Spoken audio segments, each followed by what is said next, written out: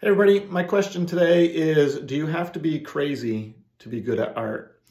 Uh, I recently took a personality test. Um, there's a couple online that I took, actually paid for them.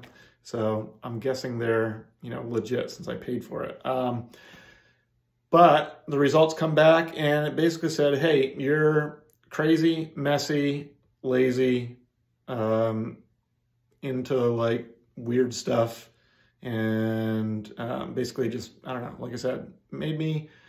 Uh, they said I was crazy, but I'd be good at art. So yeah. So um, I'm curious if you've ever taken a personality test, and if you have, um, if you're not crazy, are you bad at art, um, or are you crazy and you're good at art? That's my question.